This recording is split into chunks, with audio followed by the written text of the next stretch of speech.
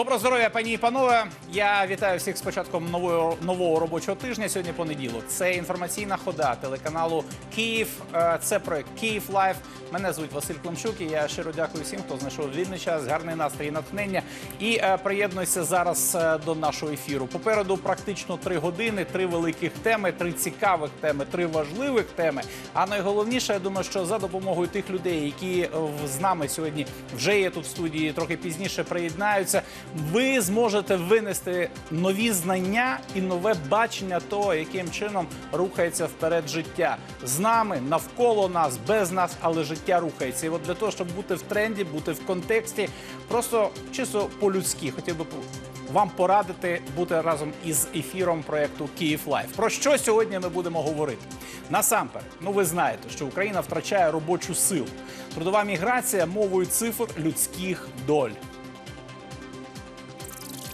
Далі, шановні, чи стане київський вокзал залізничним хабом європейського зразка?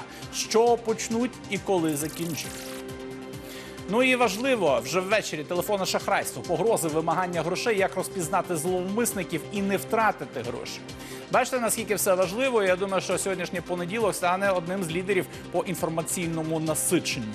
А що ми розпочинаємо? Вже проанонсували, але більш так ретельно тепер і більш фахово глибоко. Цього року Україна стане лідером втрати трудових ресурсів. Такий прогноз міжнародних експертів. Чим пояснити такі рекордні темпи скорочення працездатного населення, які це матиме наслідки для України? Куди українці їдуть у пошуках кращої долі і чи повертаються? Всі за і проти трудової міграції. Я із задоволенням вітаю в студії наших гостей, людей, з ким ми поговоримо нині а, про цю проблематику. Василь Воскобойник, президент Всеукраїнської асоціації компаній з міжнародного прац- працевлаштування. Пане Василю, добрий вечір вам. А і пан Сергій Марченко, провідний експерт ринку праці. Пане Сергію, вам Доброго добрий вечір чи добрий день. Вже ми так встигли поговорити про те, що відбувається, і в цей момент, е, звісно, оскільки ця тема жива, і вона. Ну, поки що не кожного торкається, але якби цікавляться, я знаю багато хто. Тому я нагадаю, що в нашій студії, в нашому ефірі працює телефон для прямого зв'язку. Як тільки ви вважаєте за потрібне подзвонити, приточнити, запитати, висловити своє зауваження, будь ласка, є е, телефон, є от номер телефону. Ви дзвоните. Хоча цей телефон ви прекрасно знаєте. А оскільки тема вона так чи інакше буде викликати у вас висновки то ми пропонуємо цими висновками поділитися з нами, користувачам Фейсбуку. Будь ласка, ставайте учасниками нашого опитування і на сторінці телеканалу Київ проголосуйте, яку б країну ви обрали для роботи? Україну, другий варіант Польщу, третій будь-яку європейську взагалі, або взагалі будь-яку, е, аби тільки виїхати з України. От чотири в нас варіанти відповіді. Ну і зразу користуючись нагодою від спеціалістів, пане Василю, пане Сергію, а як би ви, пане Сергію, відповіли на це опитування? Ну насправді е, мені колись мама казала: Сережа, ти ж ото там іди і шукай роботу, яка за долари. Так.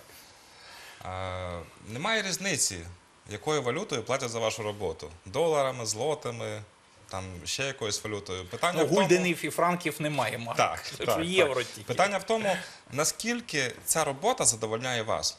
Бо на роботі ми працюємо третину свого життя. Кожен день 8 годин ми віддаємо роботі. І дуже важливо, щоб ви від роботи отримували задоволення. І, звичайно, достойну винагороду. І я, наприклад, точно знаю, що в Україні є багато місць, де можна отримати достойну винагороду і не потрібно їхати до Польщі. Проте, з другої сторони, наприклад, менш кваліфікована праця в тій самій Польщі оплачується в кілька разів вище, ніж в Україні. Тому, мабуть, це питання, на це питання кожен наш глядач має відповісти сам. Чи він все-таки хоче побути з сім'єю, вашому чи він хоче трошки більше заробити, наприклад, в інших Ну, країнах. в вашому особистому варіанті це цифра один, я так розумію. В вашому варіанті В моєму варіанті це Україна і тільки Україна. Пане Василю, тепер ви відносно нашого опитування. Україна Теж теж Україна, тому що, по-перше, я вірю, що ті негаразди, які в нас зараз є, вони все рівно за деякий час зникнуть. Все рівно Україна має дуже великий шанс для розвитку. В нас є колосальні можливості для того, щоб наші громадяни жили в нормальних умовах. Це буде, але зараз, коли люди не мають можливості заробляти достатньої кількості грошей, аби утримувати свої сім'ї, щоб підтримувати своїх батьків е, чи допомагати, помага- допомагати дітям, в такому випадку, звісно, я е, раджу людям е, поїхати за кордон, попрацювати. Попрацювати там легально і обов'язково повертатися в Україну. Це головний момент. Е, А далі, яку б країну не обрала людина для праці, що то буде Україна, чи то буде Польща, чи то буде Німеччина. Саме головне це легальне працевлаштування, бо саме легальне працевлаштування захищає людей в незалежності від того, де вони працюють. І це дуже, дуже серйозний фактор, на який поки що не всі українці звертають е, значну увагу. Ви сказали правильно абсолютно, що велика кількість людей хоче жити зараз і тут, ну в цей момент. Є певні проблеми, і не певні, а великі проблеми, і ми про них не мовчимо. Ми говоримо в нашому ефірі. Але якщо говорити про е, цифри, які ну, ну це втрачає Україна, люди виїжджають. Про які цифри зараз йдеться? На схід чи на захід? На схід, до речі, продовжують їхати. В якому обсязі? Тут ми повинні розуміти, що на жаль, е, більшість, я маю на більшість, увазі більшість людей, більшість людей демонізують ті процеси, які відбуваються. Так. Бо якщо е, ми спираємось на дані, які оголосив навесні минулого року пан Клімкін. е, Він сказав, що приблизно 3 мільйони українців знаходяться на території Росії. Приблизно 2 мільйони українців працює на території Польщі. Начебто великі цифри, але саме головне, якщо ми спираємось на дані соціологічних досліджень, які проводилися на території Польщі, кожен другий українець знаходиться і працює на території Польщі не більше аніж 3 місяці. Ще 25% працюють до полу до пів до півроку. А лише 4% українців працюють в Польщі більше одного року. Тобто, ми зараз не втрачаємо жодним чином наших трудових мігрантів. Вони виїжджають, вони працюють, вони заробляють гроші і з цими грошима повертаються назад в Україну. Тобто, в нас зараз відбувається циркуляційна трудова міграція, коли люди поїхали, попрацювали і знову ж таки повернулися назад в Україну. Вони дивляться за тим, що в нас відбувається. Вони спостерігають за тими змінами, які відбуваються. І це дає мені е, впевненість в тому, що через деякий час е, українці, котрі побачать, що тут збільшили заробітні плати, що тут відбуваються зміни у законодавстві, що тут відбуваються зміни в судовій системі, що захищені права власності, українці будуть залишатися і зі своїми грошима, які вони заробили там, будуть започатковувати тут бізнес і якимось чином вже вибудовувати своє життя саме тут, в Україні. Пане Сергію, от людина, яка там попрацювала певний час, ну звісно, ми погоджуємося з паном Василем. І, якби, якщо б так було, то було б фантастично.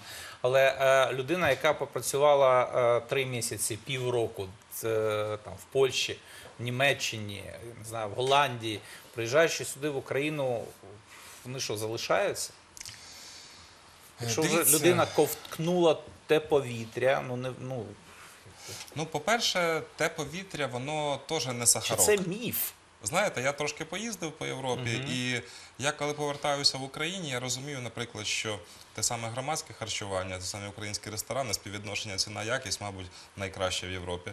Да? Тобто, м, Ну, з огляду на європейські зарплати, Да. звісно. Дивіться, ви зараз говорите про якусь абстрактну людину, яка живе там сама і може просто так взяти, зірватися, змінити е, країну. Але зазвичай українці, які йдуть за кордон, це не абстрактно людина, яка живе сама або там з котом. Зазвичай в цієї людини є сім'я, є жінка, є діти. Якщо це молода людина, в неї є батьки. Можливо, є кохана людина, яка в Україні живе. І просто так кинути все і поїхати в іншу країну це не так легко, як здається. Тому дійсно я погоджуюся з своїм колегою Василем. Мені здається, що більшість трудових мігрантів їде тимчасово.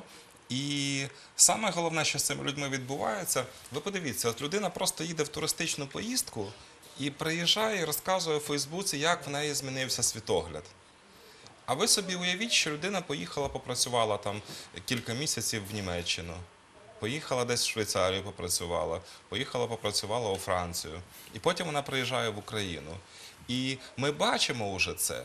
Ми бачимо туристичну західну Україну, там, де українці роблять якісь маленькі готельні комплекси, якісь ресторани. І вони це почали робити давно, бо з Західної України на- найраніше почався виїзд в Європу на заробітки. Вони приносять культуру європейську, ці люди в Україну. І тому мені здається, що е, сама тема трудової міграції, вона дійсно трошки все-таки демонізована, знову ж таки, як казав мій колега, бо е, трудова міграція це нормально. Кожна людина має право сама обирати, де вона буде працювати, ким вона буде працювати, як вона буде жити. У нас є на цей момент телефонний дзвінок. Алло, добрий вечір, слухаємо вас. Алло. Говоріть, алло. Слухаємо вас. Е, Я вас е, уважно слухаю, дуже приємно чути думку. Да. Чути мене? Так, говоріть. Е, Я, да. Моя думка. Справа в тому, що коли в країні, наша держава, Україна, хотілося б, щоб економічний стан настільки був гарний, щоб жити людям було комфортно. На жаль, цього немає. Тому люди, як ви бачите, куди вони йдуть, де е, краще жити, де можуть отримати е, елементарні е, пільги на життя. Ви скажіть, в чому, в чому ваше питання? Все це в констат... Це дуже прикро. Так. Це але Алло. питання в тому, е, питання, просте питання, чому так сталося, що від- хто винний? В чому? Що люди масово поїхали? Чи що? Алло. Мабуть, людина має на увазі, чому так сталося, що ми такі бідні на 27-28 е, році нашої незалежності. І я відразу можу сказати, що та ситуація, в якої знаходиться зараз наша країна, це недолуга економічна та соціальна політика, яка реалізовувалася всі роки існування нашої держави. На жаль, це правда, і е, тому. Скажімо відверто, я не вважаю, що ситуація зміниться завтра або через рік, або навіть Ну, з через п'ять урахуванням років. наявності, я в лапках кажу, якоїсь е, великої там перспективи е, глобальної по розвитку там різних царин, різних галузей, включаючи професійну освіту. Зараз всі бідкаються, нема там е, цих хто цеглу кладе, нема штукатурів, нема те чи ні. Що е, я щось не так кажу? Чи це, це знову міф? Ви просто наступаєте на ту саму на той самий больний мозоль, який мене болить. В кожному ефірі питають, чому де ці. Ну розумієте, Про, е, про професійну освіту, так я можу Да, багато да. про це говорити. Ми займалися свого часу. Ага. Є така організація World Skills в світі. Вони компетенції, змагання між людьми професійні. Гройсман приходив на відкриття і розповідав, як погано, що в нас немає цих людей, що вони вже поїхали. Ми от з паном Василем говорили в Лондоні. Вся мафія, е, які каналізацією чи там займаються, вони поляки. На касах наші з'являються. Всі поїхали туди замість поляків. є тільки один спосіб. Так. Коли люди робітничих професій почнуть масово отримувати достойну винагороду, Ну правильно. тоді, звичайно, престиж цих професій підніметься, і в професійно-технічну освіту е, будуть вкладатися Це як будівельники кошти. на шарашках, от які приватні будинки будують. Вони ж можуть зрівнювати і їм розказують, що ти туди поїхав, да, тобі заплатили тисячу євро, але ти за ту тисячу євро зняв хостел, ти там купив ті цигарки, ти там по тим цінам Так, купив так. е, там щось собі випити, поїсти. Да, а тут ти отримаєш 600 євро. Ну цигарки за цими ці і так далі. Ви це маєте на увазі? Я маю на увазі, що трудова міграція Так. вона допомагає людям, які залишилися в Україні, отримати більше заробітні плати. Ну, Тому абсолютно. що працедавці, коли вони бачать відток. е, Трудових ресурсів вони вимушені піднімати заробітні плати. Якщо ми подивимося е, зростання заробітних плат в Україні останніми роками, то воно досить динамічне, і це точно не Гройсман підняв ці зарплати своїм там указом. Це самі роботодавці піднімають заробітні плати, тому що зараз вони вже конкурують із європейським ринком праці. Я тут би хотів доповнити, що відбувається взагалі. Взагалі в усьому світі ем, падає зацікавленість звичайних людей до фізичної праці. І це обумовлено, скажімо так, загальним, е, загальною картинкою майбутнього, яке для нас малює телебачення, художні фільми і таке інше. Ну, немає в нас е, фільмів про трактористів, трактористів, скажімо так, ні кочегарами, ні плотників вже а ніхто не вважаєте, що співає. це- це погано? Е, Чи Це, добре? це дуже погано, тому Я що вважаю, не тільки погано. не тільки в Україні не вистачає людей, які працюють руками. Така сама картина відбувається і в Німеччині, і в Польщі. Я більш того скажу, зараз е, не вистачає робочих рук у сільському господарстві в такій країні, як Китай. Е, На початку 90-х років, в 91-му році, в Китаї 52% населення працювало у сільському господарстві. Зараз в Китаї у сфері сільського господарства працює лише 2,5%. Два з половиною відсотки. 2,5%. Е, А Розумієте? решті що, айфони складають? А інші складають, Але мабуть, китайці айфони. до холєри. Так, так, так. І при цьому, і, 2% так, лише. і при цьому, якщо в Ну, ми такій їх не країні, переб'ємо, я думаю. якщо в такій країні не вистачає робочих рук, Ну, то що казати про нас? Потрібно підвищувати цікавість до роботи руками, але це повинна бути державна програма. Дійсно потрібно показувати, як і скільки грошей може заробити зараз. Тут зварювальник в країни професійній. Він зароб, за, може заробити більше аніж будь-який там е, юрист, економіст чи бухгалтер. Але люди про це не знають. Ну, зварювальник е, в Німеччині, я так десь е, бачив, е, в районі 3-4 тисячі євро може заробити Так. наш. А де він наш звар? В Україні, вибачте, 30 тисяч гривень це старт, по-моєму, для зварювальника. Серйозно? Серйозно. Ну, це не 111 метод, не там, де електродом, а у сфері інертних газів МІГ МАК е, 141 А 145 там, де метод. електродом? Ну там поменше, але це не затребувано там навіть електродом. але навіть там це не затребувано. З електродами варять, якщо там фахівець, начебто шестого розряду, і в нас їх тут в Україні не так багато. Статистика абсолютно з вами, пане Сергію, погоджується, е, тому що от ми навіть і цитували в 2019 році е, прогнозує наш Держстат, що до відсотків на 15 зарплата по країні повинна підвищуватися. Але якщо ми говоримо про географію, ми теж от з паном Василем вже встигли е, поговорити, і знову ж таки ви це опосередковано підтвердили, що приїжджають люди там з Швейцарії, з інших країн на західній Україні починають там щось облаштовувати, якісь там готельчики, тому що звідти раніше розпочалася трудова Так, міграція. так. Але з урахуванням інфраструктурної близькості до Західної Європи, шляхи, виробництво приходить саме в Західну Україну. На сьогоднішній день знову ж таки статистика говорить, що ці е, зарплати, рівень зарплат в Західній Україні збільшується швидше, ніж тут, в центральній і в Е, східній. зараз- Це знову ж таки міф, це демонізація, чи це відповідає дійсності? Ні, ну це не міф. Просто міфом було те, що Західна Україна якась бідна, нещасна, що з неї всі виїхали, там ніхто не працює, там е, р- розруха і все таке.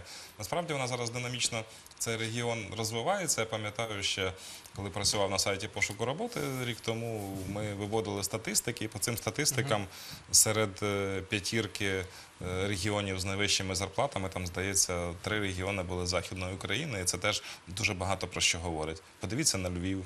Львів реально одна з it столиць України. Там дуже багато високотехнологічне виробництво, там зовсім інші заробітні плати.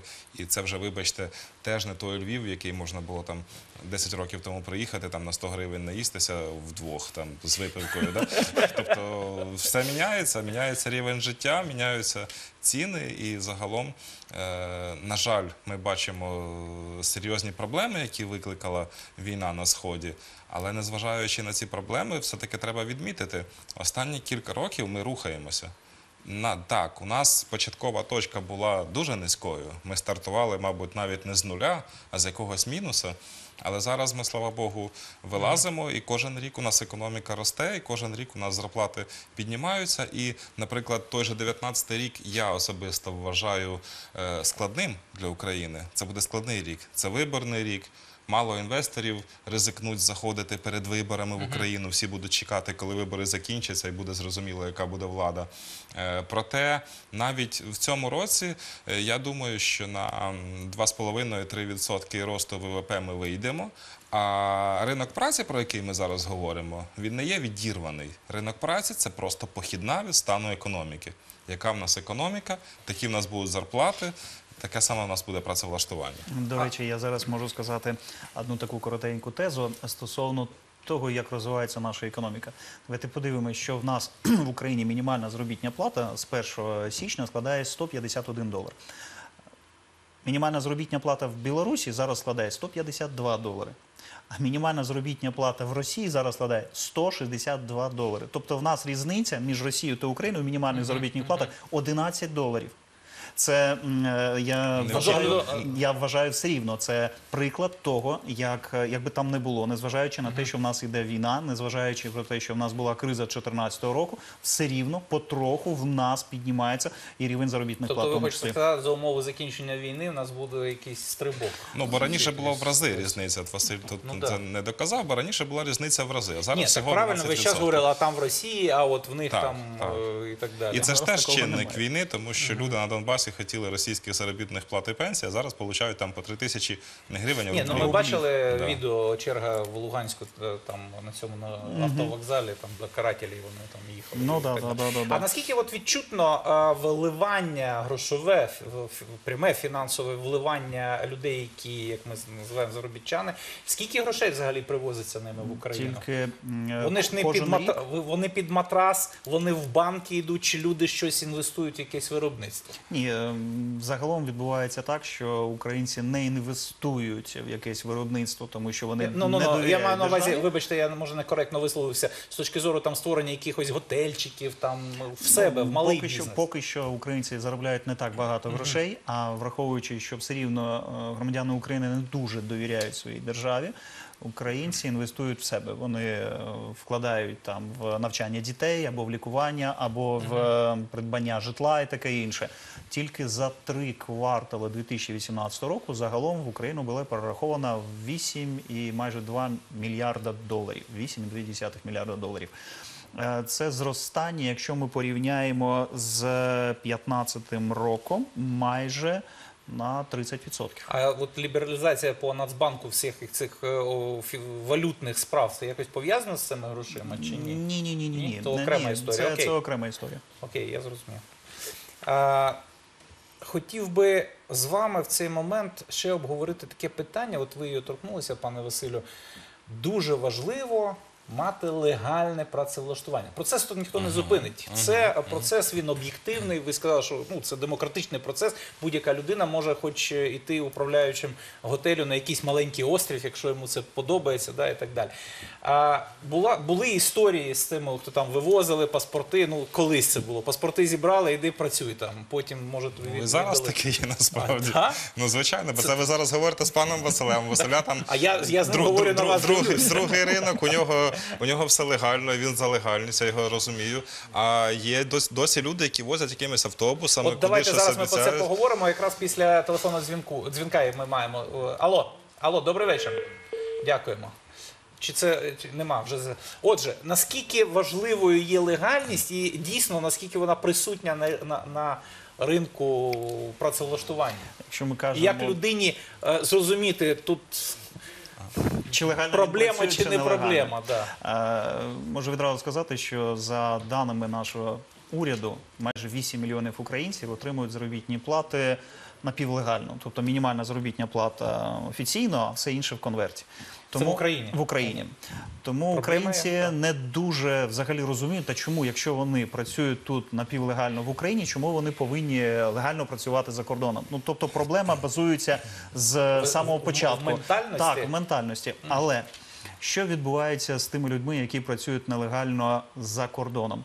Е, на жаль, 93% українців, які працюють за кордоном, вони працюють у сфері звичайної фізичної праці. Тобто ця праця пов'язана з тим, що може відбутися будь-який випадок, людина втратить здоров'я.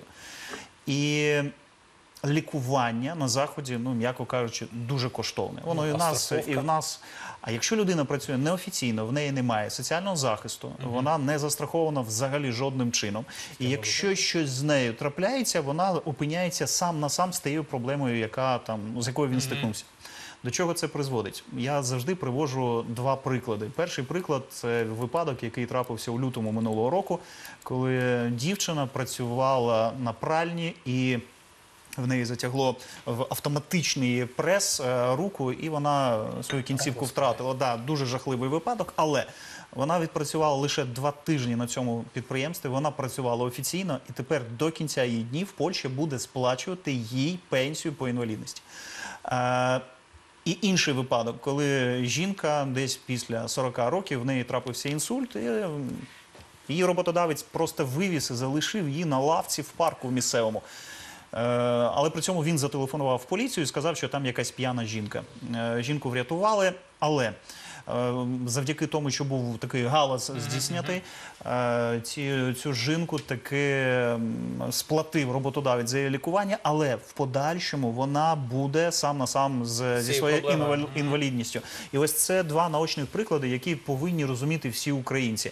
Думати, що це не трапиться саме з вами, ну це навіть, м'яко кажучи, наївно. Може, просто люди думають, що е, нелегально працевлаштуватися легше, зарплати більше і так далі. Може, ну в чому чому люди йдуть на нелегальну роботу? Ну насправді так. Насправді, звичайно, нелегальна зарплата зазвичай це трошки більший заробіток, тро- трошки менше якихось процедур. Але треба пам'ятати, що дійсно дуже важлива та сама медична страховка. Дуже часто ті люди, які їдуть нелегально, вони страховку не купують або купують страховку туристичну. Як для виїжджаючих за кордон з туристичною Турпоїздку, метою. Але страхові компанії, коли трапляється е, страховий випадок на виробництві, вони потім піднімають поліс. Ну, хлопче, в тебе тут туристична страховка, а ти Їздив реально. дивитися а- Краків, а а, не а ти стояти втратив там на кінцівку, коли картоплі. ти е, зас- засовував щось у прес. І, звичайно, ніякого відшкодування не буде. Загалом, е, нелегальність це проблема ринку праці і тут в Україні, і за кордоном. Нелегальний це значить, ти не маєш ніяких прав. Твої права нуль. Ти нічого не зможеш зробити, якщо в тебе будуть якісь проблеми. А чому в нас стільки ну, є люди, які так от ризикують? Нема куди діватися? Чи, Ну, це просто традиція, це традиція? традиція ще з Радянського Союзу, що всі підписують там будь-які бумажки, що їм дають, Ну, в не нас же читаючи. ми, ж, ми ж розумна нація, ми ж багато читаємо, багато знаємо, багато дивимося телевізор. Саме ми самі ми, ми найбільш розумні на ринку праці. Ми там. небагато читаємо, ми дуже небагато читаємо. Це знову ж таки радянський міф, що ми якісь особливі, що ми багато читаємо. Середній європеєць читає, мабуть, разів в 5 більше, ніж українець середній, а може і в 10. Да? Тобто ми не читаємо. Подивіться на наші книжкові полиці, там в кращому випадку стоять якісь детективи або якась там дитяча У література. нас тобто... всі читають в мобільних телефонах, в Ну, планшетах, мобільних, і- а там же, а там, а там, там гортають головне, Це- це- це що трошки- потрібно, це трошки що потрібно робити взагалі державі, котра ну в державі всі розуміють, що українці їхали, їдуть і вони будуть їхати в майбутньому. А, потрібно проводити інформаційну кампанію. Інформаційну кампанію, завдяки якої потрібно достукатись до кожного українця. Або держава достукається і донесе цю інформацію. Тобто державі треба робити цю це повинна робити держава. Бо держава вона є захисником е, українських громадян. А інакше, якщо вона не захищає українців, то навіщо такі тоді потрібна така держава? Ми всі повинні розуміти. Ми всі є однією великою сім'єю, і м, е, кожен повинен дбати про своїх співвітчизників. Те саме, що робить е, пане Сергій, те, що робите ви, те, що роблю я. Ми доносимо інформацію до українців, як робити правильно. Потрібно навчати суспільство. Суспільство, яке все своє життя до цього моменту, враховуючи радянський союз, яке жило по принципу. А там хтось прийде, порядок наведе, е, все буде добре. Потрібно тільки когось слухатись. Е, В сучасному світі такого немає. Потрібно, аби Ну що, в Казахстані британський суд працює Ну, нормально. ви, ви бачите, що це теж, це, теж, це теж якесь рішення, це теж е, реформування. До речі, Казахстан хоче стати економічним хабом взагалі Центральної Азії. І вони це зроблять. Чому це не робити в нас? Ну, тим більше що сусіди китайці, в них є 2% в сільському господарстві працюють. Так, там, так. там, правда, масштаби теж в Казахстані Масштаб, такі, масштаби що... достатньо великі, але знову ж таки кажу, без інформаційної компанії ми не зможемо донести до людей ці тези, е, як правильно себе поводити, коли люди їдуть за кордон. Це повинна робити держава. От чисто практичне запитання. Я не хочу там Польщу жаліти, навпаки, дай Боже всім здоров'я, але ситуація там така, що зараз Німеччина скільки років була закритою для ну. Простого робітника тепер німці відкривають ринок, прийняли відповідний закон, там прибрали ці там чи блакитні, чи як вони ці паспорти. блакитна карта, вона О, залишається. Вона простіше тепер отримується. Єдине, що я так чув, що там людина повинна німецьку мову знати, тому от ми- я якось здивувався, що німецька для лікарів в нас в Україні, німецька там ще для когось, німецька ще по спеціальностям. От е, тепер що відбувається? Люди, які в Польщі. Е, Навчилися, подивилися, трошки ментальність змінили, наскільки це можливо, може, книжок почитали. І тепер що вони всі в Німеччину поїдуть? Тепер Польща ну, Це те, про що ми з Василем кажемо. Насправді ті люди, які у нас працюють за кордоном, то наші економічні агенти. то економічні агенти держави Україна. Так. Вони сьогодні в Польщі, завтра вони в Німеччині, а післязавтра вони все одно повернуться в Україну. Ви думаєте точно, що не повернуться? Може не всі, але більша половина повернеться. Тобто це загалом е, те, те, через що пройшла та сама, проходить та сама Польща, через те пройшло Ірландія, те, через що прийшла Італія, вже мало хто пам'ятає. Балтії в тому числі. Але Ну, Італія то вже давно пройшла. але Тобто вона пройшла. воєнна. Зараз у неї все дуже круто, але італійці Ну, зі е, Штатів теж їздили, теж їздили по всьому світу. Розумієте? І е, від того, що італійці свого часу поїхали е, в Штати, Італія не стала біднішою країною. Вони, вибачте, в десятці світу по ВВП знаходяться. Да? Тобто нормальні, нормальні країни. Тобто треба ставитись до цього процесу нормально. Це не є якийсь страшний процес, але я абсолютно погоджуюся з Василем. Да? У нас е, Коли ви держава. за мною погодитесь, ви час не погоджуємося, що вона А що нам робити, ви нас тільки питаєте? час Да. Да, да. І, і насправді, ну тобто, ну, це ж правда. Тобто, держава має щось робити для того, щоб цей процес е, у, зробити більш а кваліфікації наших працівників, які в Польщі попрацювали для переїзду в Німеччину, не вистачає? Чи все ж таки е, звичні робітники? Хоча знову ж таки пан Сергій сьогодні я погоджуюсь з вами, розбив, е, розбив е, міф відносно того, що ми якось, е, коли перші там потрапляли на початку 90-х в Європу, складно потрапляли. Це цілу візу треба було отримати. Там купа документів, отакий список. Ну всі пам'ятаєте, це ще було два роки тому, там чи три. От е, дивилися там різнокольорові, і такі, їх багато, їх беруть, і вони. Тобто, наскільки ми з ними можемо конкурувати сьогодні? Там як На е, сьогоднішній день? робіт, робітнича сила. На сьогоднішній Ми ж день... такі, ми ж розумні, ми ж такі, як німці. Е, На сьогоднішній день ми опинилися в ситуації, Європа опинилася в ситуації, коли е, аналізуючи кількість виданих дозволів на проживання або знаходження на території тієї чи іншої країни, вихідці з Північної Африки майже на 90% отримують дозволи як біженці. Українці навпаки, 88% українців, які отримали дозвіл на перебування на теренах Польщі, це люди, які отримують дозвіли для працевлаштування. влаштування. роботу. Тобто е, українці, які їдуть до країн Європи, вони їдуть е, з На роботу. Саме працевлаштування. Що відбувається з Німеччиною? Німеччина в 18-му році стикнулася з ситуацією, коли поляки, які раніше їздили працювати до Німеччини, вже не бачать цьому сенсу. Бо зростання заробітної плати в Польщі призвело до того, що витрати, які несе е, громадянин Польщі на території Німеччини, е, ті витрати більші, збільшуються. Це перший момент. І другий момент воно вже не покриває різницю за те задоволення поїхати, відірватися від сім'ї і таке інше.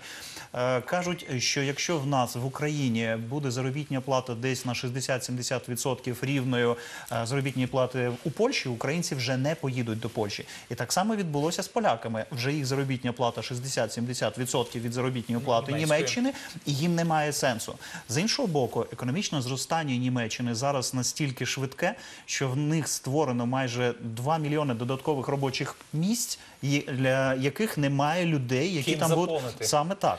Так це ж значить не тільки українці, там ще будуть і китайці, там і взагалі білоруси, відкрити, і- там взагалі відкрита ем, ринок працевлаштування для всіх мешканців країн, які не входять до, є, до євроспільноти. але є при тому європейськими країнами. Ні, ні, ні, ні, ні. Е, Взагалі, е, ви якраз казали про програму Блакитна карта. Це програма залучення спеціалістів. Вона е, спочатку була розрахована на мешканців двох країн Китаю та Індії. Ну, айтішники. Саме і, так, саме так. так. І тому е, я Складовники впевнений. айфонів і айтішники. Так, і саме тому і відбувається, що ті, хто зараз будуть їхати до Німеччини, перше, що хоче Німеччина, щоб до них їхали спеціалісти, в яких є е, підтверджений диплом е, по цієї спеціальності, знання німецької мови. І це, ну скажімо так, головне. Е, якщо ви е, торкнулися питання лікарів, до 2030 року Німеччина буде потребувати 1 мільйон медицинських сестер. 1 мільйон І байдуже якого віку. Е, Байдуже, аби люди заїжджали і могли працювати.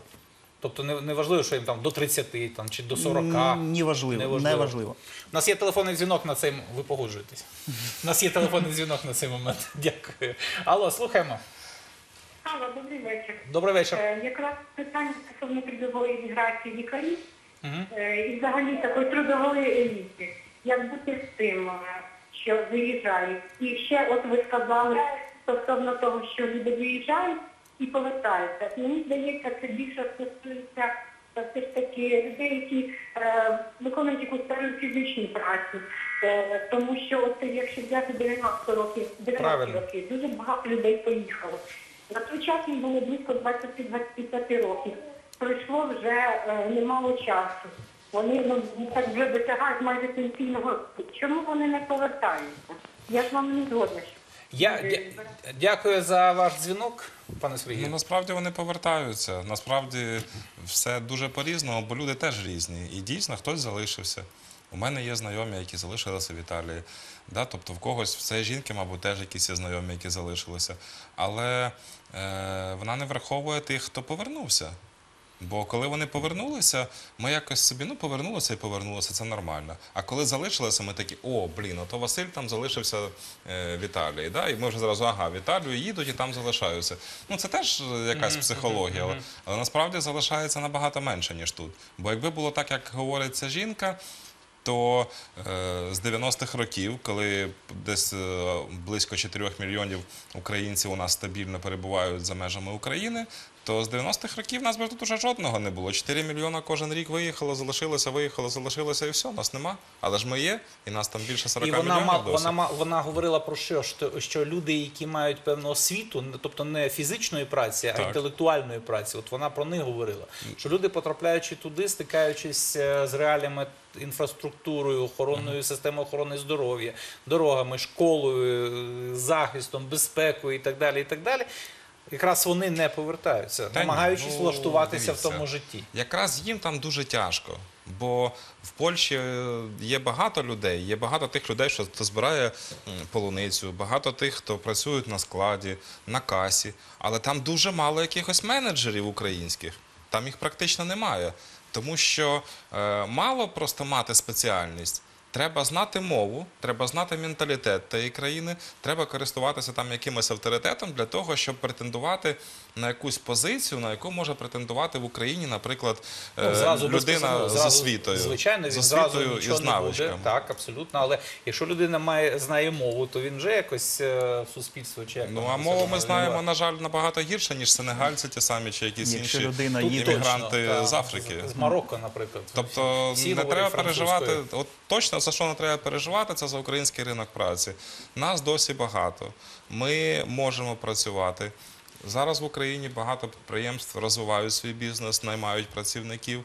Е, Тут є що Ви своїми словами зараз зупините процес підняття зарплат в Україні. Не зупиню цей процес, слава не Богу, від мене не залежить. Він ні від кого не залежить. розслабляться. Ні, ні, ні, ні, ні. я тут можу додати дуже коротенько до слів пана Сергія. Е, При умові е, економічного розвитку в Україні у зв'язку з тим, що для нас більш загрозлива є ситуація не трудової міграції, а демографічної кризи. Навіть якщо всі українці повернуться сюди в Україну, при належному економічному розвитку нам не буде вистачати робочих рук. І Україна не за рік, не за два, але вона стикнеться з ситуацією, коли нам не буде вистачати тут робочих Самим. рук, самим тут. А хто ж до нас і, поїде? І тоді, і тоді я вважаю, що вже зараз, що вже зараз держава повинна починати формувати програму залучення до нас трудових мігрантів. Бо поляки почали свою програму трудової міграції ще в 2006 році. Тобто І- за практично 10 років до того, як так, виникла гаряча саме потреба. Так. І тому саме так потрібно поступати і українській державі. Нам потрібно формувати свою міграційну політику, бо збільшення зарплат буде відбуватися. Українці все рівно будуть прац- працювати, їхати за кордон. Українські роботодавці не зможуть конкурувати по заробітним платам з німецькими роботодавцями. І ем, як би там не було, ми вимушені будемо залучати трудових мігрантів з інших країн. Це то Але хто це буде? Це буде ну це потрібно Але окремо вирішувати. Цей процес, про який ми сьогодні говоримо в суді, він, він поки що не зупинний, виглядає як е, такий, який відбувається. Це глобалізація. Так, абсолютно точно. Ми в е, ситуації всій знаходимося. Я щиро дякую нашим гостям. Я нагадаю, що в цей момент в нашій студії були Василь Воскобойник, президент Всеукраїнської асоціації компаній з міжнародного працевлаштування. Дякую, пане Василю. Вам дякую. І е, Сергій Марченко, провідний експерт ринку праці. Дякую вам, пане Сергію. Погоджуюсь з вами у всіх ваших питаннях. А ми продовжуємо, шановні. Я хотів би вам нагадати, що триває е, інформаційна хода телеканалу Київ. Це проект е, Київ Live. Мене звуть Василь Климчук. І наступною темою нашої програми буде така: чи стане київський вокзал залізничним хабом європейського зразка? І що почнуть, і коли закінчать? І не забувайте, що на завершення сьогоднішнього інформаційного вечора телефонне шахрайство, погрози, вимагання грошей, як розпізнати зловмисників і не втратити власне гроші. Залишайтеся в контексті нашого мовлення, телебачення, 4 хвилини, реклама. Після чого повертаємося в студії. Будемо говорити про залізничний вокзал.